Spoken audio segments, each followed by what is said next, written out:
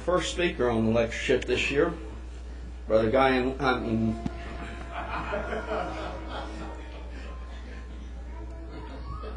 Brother Danny Douglas. He does a great imitation of Brother Guy N. Woods, except I'm not sure he's imitating him. It sounds a whole lot like him even when he's speaking normally, but. Uh, he has the topic, the just shall live by faith, from Habakkuk 2 and verse 4. He and his wife, uh, Laarni, is, uh, with us along with the two children that they have, and we're glad that they were able to come as well. He is a graduate of uh, Freed Hardeman College and has uh, worked in several locations he is doing preaching now, but not uh, local work. He's going out and speaking at other places or different places. He is the editor of Standing Fast, along with being a educator. Uh, he has been a public school teacher and principal. He always does an excellent job, and we're looking forward to hearing him this this evening dealing with this great subject on the just shall live by faith.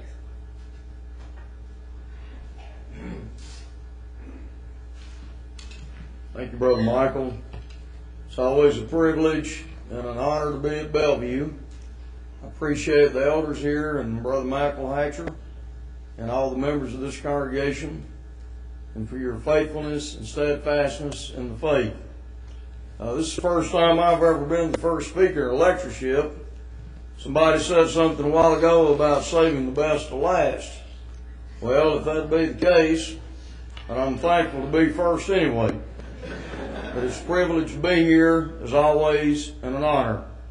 I'm thankful to the Lord for this opportunity, and it's an honor to be among God's faithful people with all these faithful brethren who've come to speak. It's an honor just to be among so many godly preachers of the gospel. And those are going out preaching God's word in mission places and local work or whatever way that you may be doing it. But tonight we're studying the book of Habakkuk. And the topic is, The just shall live by faith. The book of Habakkuk is indeed a deep and thought provoking book consisting of only three chapters. There's a song that we sing in the hymn book, The Kingdom is Spreading. There's a statement in the book of Habakkuk in chapter 2 and verse number 14 For the earth shall be filled with the knowledge of the glory of the Lord as the waters cover the sea. And that's a beautiful statement. And that sentiment is expressed in that song, The Kingdom is Spreading. However, that statement was made in somewhat of a negative context, in that it was dealing with how God was going to punish the wicked heathen nation of Babylon. And so not only were there positive things surrounding this, but also negative. And that brings us to an important point, being this that God is glorified when sin is dealt with and evil is punished, as well as when the good is promoted. Indeed, it is God's will that the earth be filled with the knowledge of the glory of the, the Lord. Jesus said, Go ye into all the world and preach the gospel to every creature. He that believeth and is baptized shall be saved, but he that believeth not shall be damned. In Mark 16, verse 15 and 16. In the book of Habakkuk, we see God's punishment of Babylon. And this is one of the things that was perplexing to the prophet Habakkuk. He could not understand how that God would use a more wicked nation than they to punish his people, Judah. And he raises this question. And sometimes people may get the idea that preachers and elders and others who've been in the faith for a long time never have any questions or doubts, or never perplexed or in despair about anything. But we see in the book of Habakkuk that this was not the case. Habakkuk did have some very deep questions. And his questions were not skeptical in nature. but sincere questions. And I know that all of us as preachers have dealt with these things in our hearts and our minds. But yet Habakkuk never let go of God. And I appreciate Brother Bradley leading that song a while ago. Living by faith, trusting and abiding in His great love. And that's what it is to walk by faith. And Paul said we walk by faith, not by sight. 2 Corinthians 5 verse 7. And of course, to walk by faith and not by sight is to walk trusting in God according to His Word and not according to the flesh. And this is another thing that we're going to see in the book of Habakkuk. We see the godly contrasted with the ungodly in chapter 2. In verses 4 and 5, the prophet says, Behold, his soul which is lifted up is not upright in him, but the just shall live by his faith. Yea, also because he transgresseth by wine, he is a proud man. Neither keepeth at home, who enlargeth his desire as hell, and is as death, and cannot be satisfied, but gathereth unto him all nations, and heapeth unto him all people. Of course, the man of Babylon is symbolized here in this text. He is a man that is puffed up, enlarged in himself. He is swollen up. He is not humble. And thus we see the difference between a man of faith and a man of pride. One trusts in himself and the other trusts in Almighty God. In Proverbs 3 and verse 5, trust in the Lord with all thine heart and lean not unto thine own understanding. But the prophet's name is an interesting one. The name Habakkuk means embrace from the verb habak and probably means one who embraces, one who took his nation to his heart, comforted it and held it up as one embraces and presses to his bosom a poor weeping child, calming and consoling it with good hope, if God so will, as one commentator said. And indeed, only the godly and the righteous are willing to be comforted by such men as Habakkuk. There are some people who will not be comforted because of their attitude of heart, but are rushing on to their own punishment and their doom. Habakkuk's prophecy followed that of Nahum, who dealt with Assyria. The Assyrians overthrew the northern tribes around 722 BC. Many years later, we see that Nineveh, the capital of Assyria, was destroyed. And Nahum, of course, is dealing with the wicked nation of Assyria. Well, shortly after the destruction of Nineveh, we find Habakkuk's prophecy similar to Nahum's in that God would use a wicked nation to punish his people. God used Assyria to punish the northern tribes. Now he is going to use Babylon to punish the southern kingdom of Judah. And thus we see God's providential hand in using wicked men. God still works in his providence today to uplift and to tear down. But ultimately, God will be glorified. And after God dealt with his people in the northern kingdom through Assyria, he turned around and destroyed the Assyrians. In like manner, he is going to destroy Babylon after he is through using them as they are dealing the punishing blow to his people of Judah. Habakkuk's prophecy was near the end of the 7th century BC, around 606 to 604. Habakkuk's prophecy was in a sad time. During the reigns of Jehoahaz and his brother Eliakim, or whose name was changed to Jehoiakim by the Babylonian ruler, according to 2 Kings chapter 23, verses 31 to 37. Sadly, they were unlike their father, King Josiah, who did that which was right in the eyes of the Lord. 2 Kings 22 and verse 2. They were not like him, and this reminds us, of course, of principles today. That often we will have a godly set of parents, and yet the child will not follow in their footsteps. This was the case with King Josiah. He was a godly man, but yet his two sons were very wicked. And then, of course, we remember in the book of Jeremiah the infamous story of Jehoiakim's penknife. How that he cut the scroll of the scripture and threw it into the fire. This reminds us of something that happened or was reported the week before Memorial Day recently, how that Bibles were burned over in Afghanistan. A religious group sent these Bibles over to our military to disperse among the Afghan people. But there were one or two or a few, I don't know how many military leaders that decided those Bibles should be burned. And of course, this is on many websites on the internet that you can read about this news. I'm sure there are many people in the military who would be dead against such a thing, even in the leadership. So we're not saying people in the military are against the Bible, per se. But I would not want to be in the shoes of that person or persons who destroyed those Bibles or who gave the order for them to be destroyed. We see how that God dealt with Jehoiakim. How is God going to deal with people today who seek to destroy His Word or to defy the holy name of God?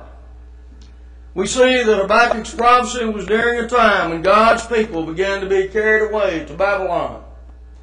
And when we think about God's hand upon Judah and how wicked they had become, we cannot help but think about our nation today, the United States of America. And we love our nation and we love our people here. And not all have bowed the knee to the image of Baal, so to speak. But nonetheless, friends, we see many ungodly things going on in our society, and some of them with approval of the governmental authorities. The Bible says that righteousness exalteth a nation, but sin is a reproach to any people. Proverbs 14 and verse 34. And the wicked shall be turned into hell, and all the nations that forget God. Psalm 9 and verse 17.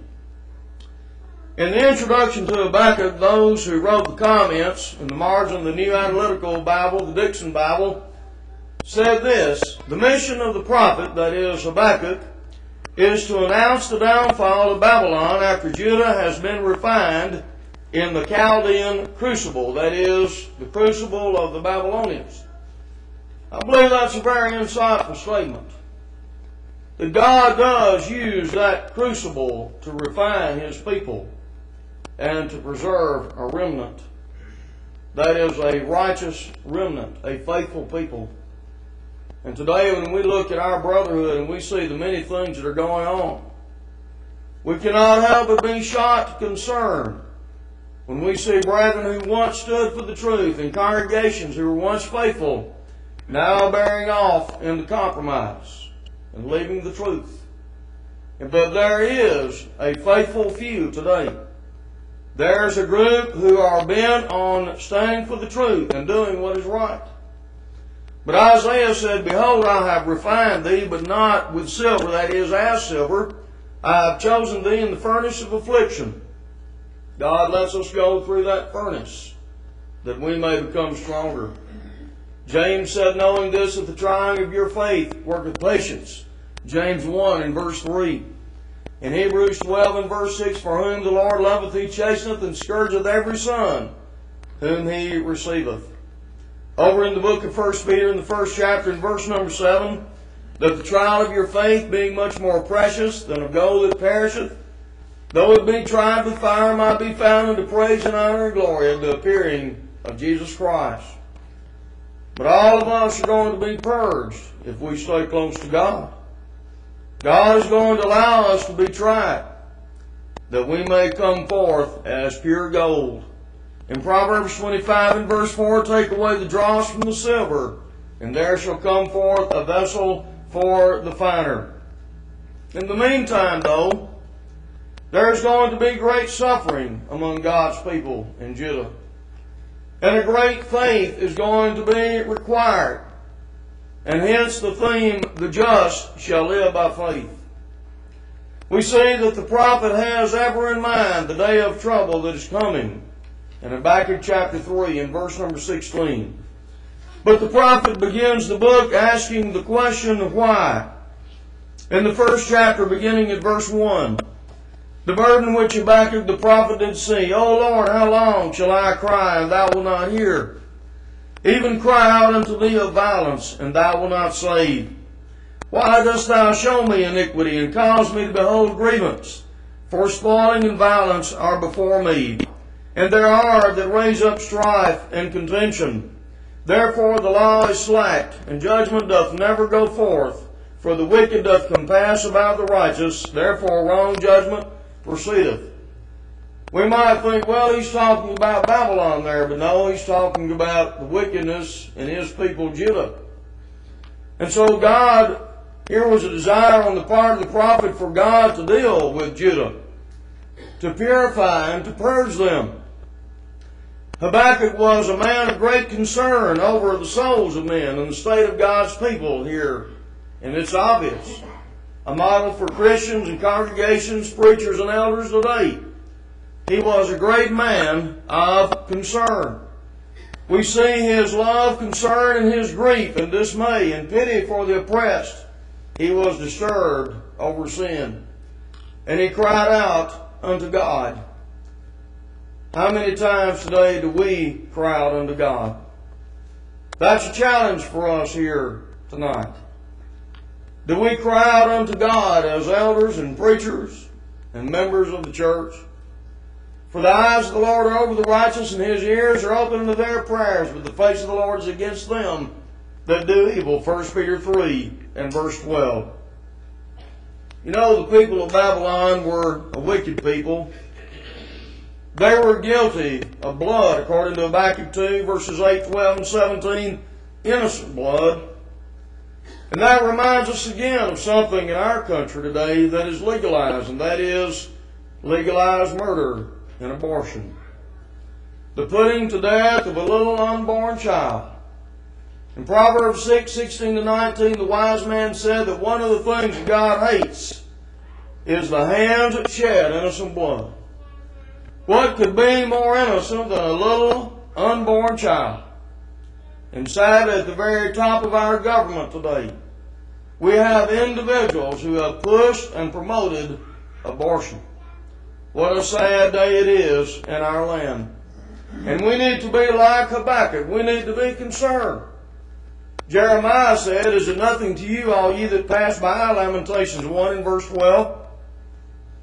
If we're not careful, even in the Lord's church, we can become lukewarm and apathetic about these things. We can become unconcerned about lost souls who are headed for eternal destruction. We can become unconcerned about a sad state of affairs in the church of our Lord. But no, we need to be like the man of God, Habakkuk. But God answers the prophet, beginning in verse number 5 Behold ye among the heathen, and regard and wonder marvelously. For I will work a work in your days which ye will not believe, though it be told you. We know this warning culminated around 586 BC when God allowed, and again this is God's providence, allowing things to happen, He allowed the Babylonians to come in and destroy Jerusalem and the temple. And this was indeed a marvelous and a terrible work. You know, Paul used that scripture over in the synagogue in Antioch of Pisidia in Acts 13 on the first missionary journey when he and Barnabas went in there. Sometime after this, or after he gave that sermon, we know that the Jews were disturbed and he declared they would turn into the Gentiles. But you know, there was going to be another destruction off in the future. One wonders if this is one reason that Paul used that scripture. Because of those Jews who rejected Jesus Christ and the gospel, we know this is why Jerusalem and the temple were destroyed in AD 70. And he gives this warning here in Acts chapter 13, verse 41. He brings up a painful thought to the Jews. How that their rejection of God's word in the long ago resulted in their destruction. Now, what about it now? Reject Christ, the gospel, and again there is going to be destruction. Now, as we think about Babylon tonight, God allowed some things to happen through this heathen nation of Babylon. Now, friends, when we think about the providence of God this evening, how many things we do not even know about that God does providentially? How many times He protects us and shields us and holds us in His hand? And I'm not talking about in the sense of salvation, because when we're saved, we know that we're in the Father's hand, according to Jesus in John 10. I'm talking about the times that God protects us providentially. But yet there are times in history as we look at God's people when they rebelled against the Lord and His law, He remo- removed that protective hand and allowed things to happen to His people. This should strike fear and awe in our hearts upon the contemplation of ever departing from the living God. We know that the scriptures teaches that the wrath of man shall praise thee. Psalm 76 verse 10. We see the wrath of man praising God through Babylon. And then the rest of that verse says, The remainder of wrath shalt thou restrain. God's providential restraining hand is in there too. God's mighty hand of providence. Now, the Chaldeans or the Babylonians were a very wicked people. And thus Habakkuk asked the question in verse number 13 Thou art of pure eyes than to behold evil, and cast not look on iniquity. Wherefore lookest thou upon them that deal treacherously, and behold, and holdest thy tongue when the wicked devoureth the man that is more righteous than he? How can the pure and high and holy Jehovah God have anything to do with the nation of Babylon? How can he do this? This is the question that is perplexing the great prophet Habakkuk. But God does work through wicked men. He does use wicked men to bring about his purpose. Many people are going to be destroyed in the Babylonian overthrow. But the prophet says, We shall not die. In verse number 12, Art thou not from everlasting, O Lord my God, mine Holy One? We shall not die, O Lord, thou hast ordained them for judgment. And Almighty God, thou hast established them for correction. This doesn't mean that godly people will never die an untimely death or at an early age. But it means that we are not given to perishing. We may be chastened, corrected, and carried away, but ultimately we are not going to perish. And of course, we here are the righteous, the righteous remnant. He's talking about we shall not die. But there were many people already perishing spiritually in the land of Judah. And of course, this is the most serious perishing of all, to lose one soul. And this is what Habakkuk has foremost in mind when he speaks of the just shall live by faith. The Lord is not willing that any should perish, but that all should come to repentance. 2 Peter 3 9. In fact, God gave His only begotten Son that whosoever believeth in Him should not perish but have everlasting life. John 3 and verse 16. It's not the Lord's will that any precious soul perishes before God and is lost. But yet many are. Even this night, there are many who are rejecting the gospel of Jesus Christ. We often have questions about God. We have questions about why He may do the things that He does. But we are never to question the integrity of God or His righteousness.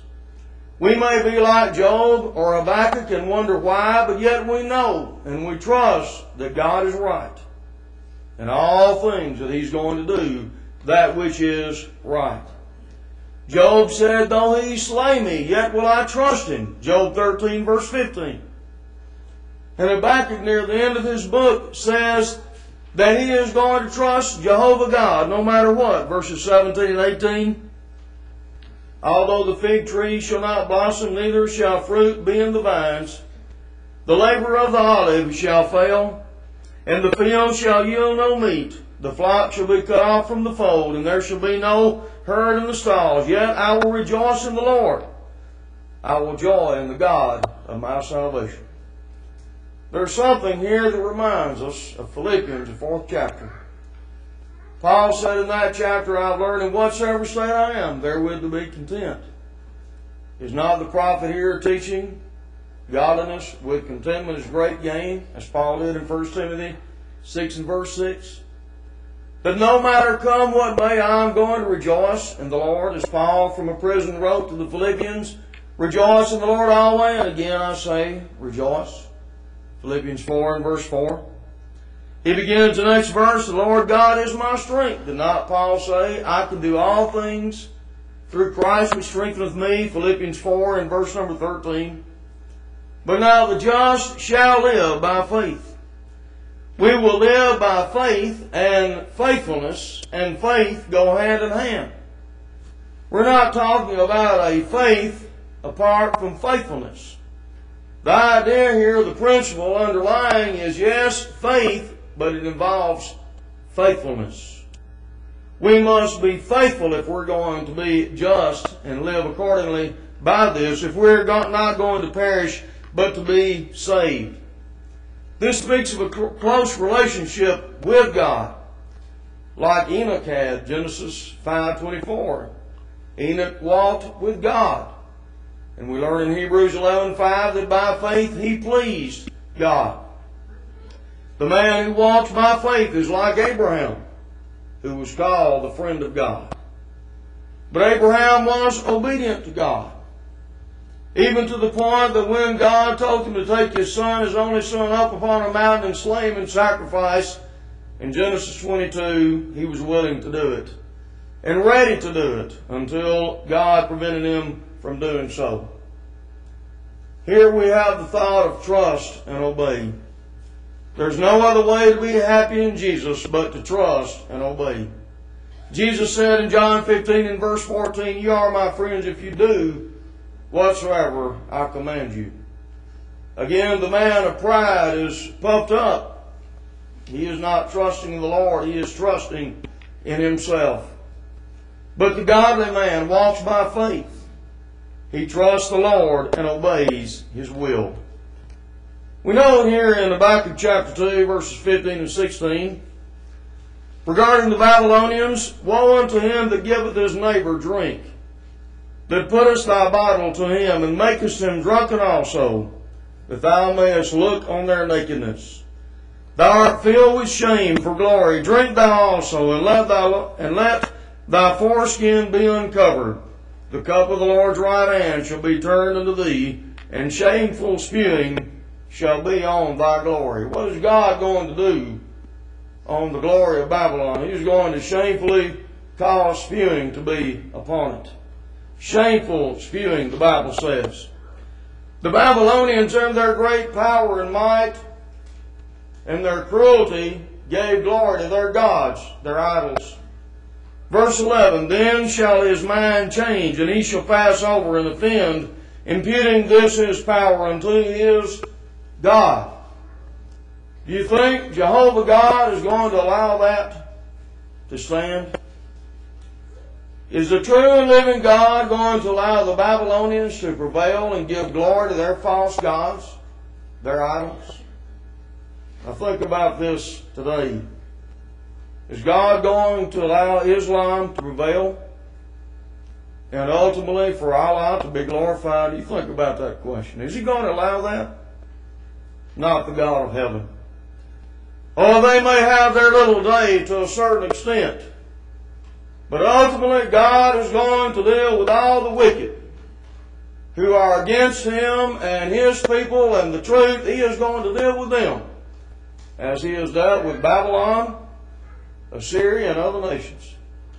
Whether it be a religious nation or a geographical nation. God is going to deal with them. On that we can rest assured.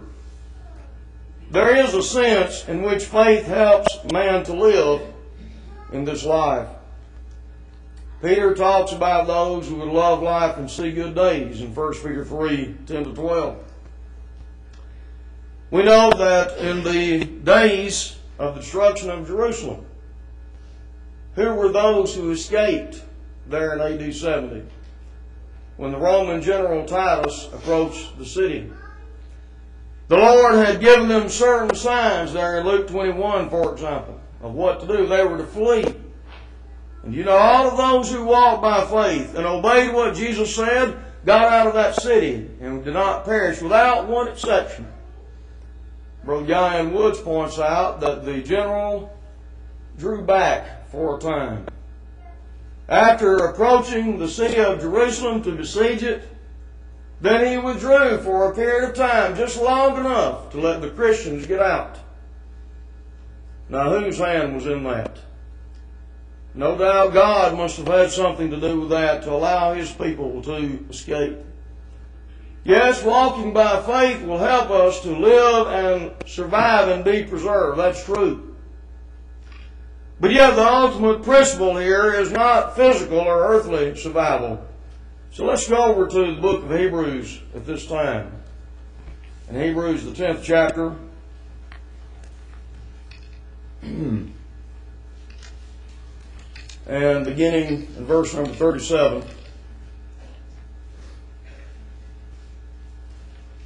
For yet a little while, and he that shall come will come and will not tarry. Now, of course, this was about seven years before the destruction of Jerusalem in AD 70. So this is not the ultimate final day of judgment of the Lord's second coming in that sense.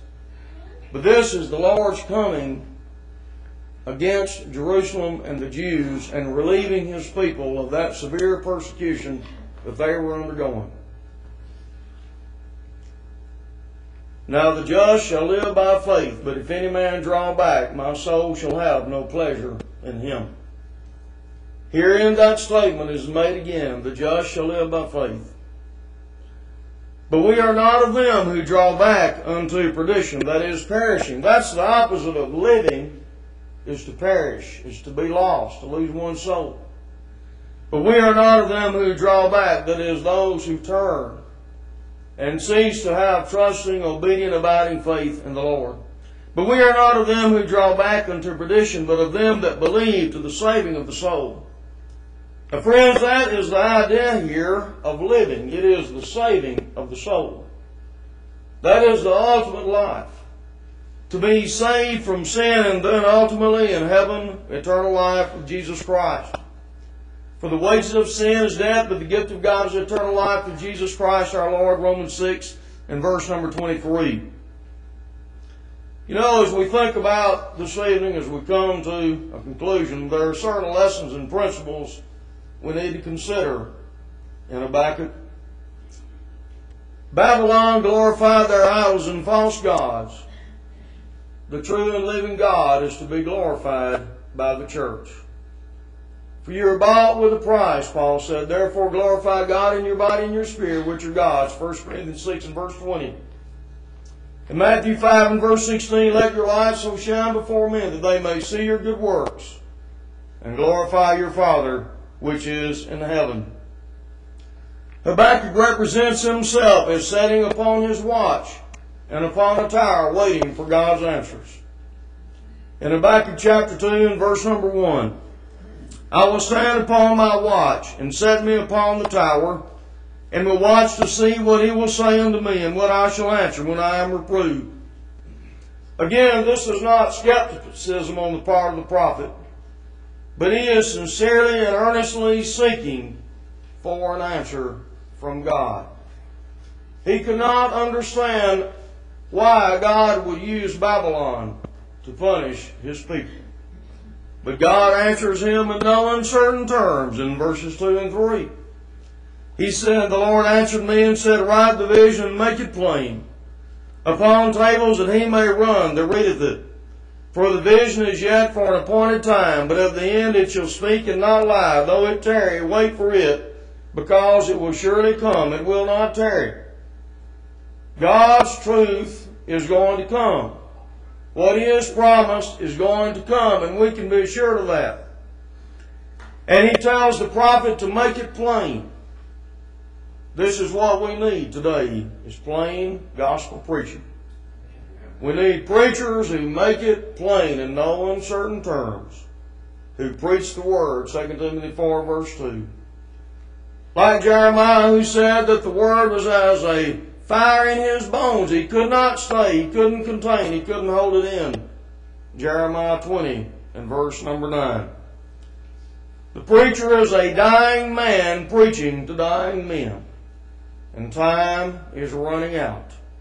We need to make it plain.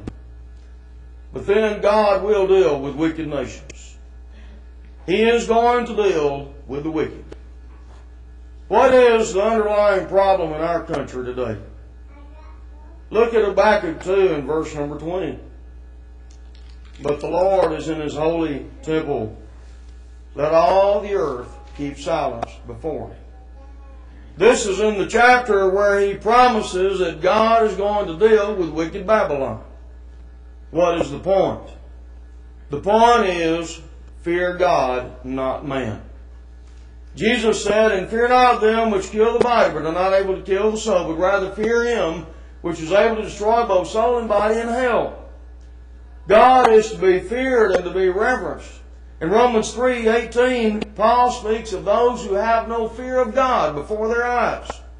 This is the underlying problem we have in this country today. No respect and no reverence and no fear of God on the part of many people. And yet the preacher said this is the conclusion of the whole matter. Fear God and keep his commandments. For this is the whole duty of man, for God shall bring every work into judgment with every secret thing, whether it be good or whether it be evil, in Ecclesiastes 12, 13, and 14. God is going to deal with the wicked. But you know, the faith can stand the test. If we have true faith, the Word of God can stand questioning. We may have doubts and questions about things, but that doesn't mean that we doubt the veracity and the integrity of God and His Word. True faith can stand the test. The truth can stand questioning, and thus we see in Habakkuk. He concludes, The Lord is my strength. He questions there in chapter 2 and in chapter 1, rather, verses 12 and 13. But yet he concludes, The Lord is my strength. I am going to trust him no matter what. Habakkuk, one who embraces, clings to God no matter what. Now, friends, let's keep that with us when we think about Habakkuk. The one whose name means one who embraces. Habakkuk embraced God in the sense that he clung to God. He cleaved unto God. Regardless of all these things that he was going through, he cleaved unto God. James said in James chapter 4 and verse number 8, Draw nigh to God, and he will draw nigh unto you. Yes, beloved, tonight as we conclude, let us be like Habakkuk, who taught and who lived, the just shall live by faith. And the Lord is in his holy temple.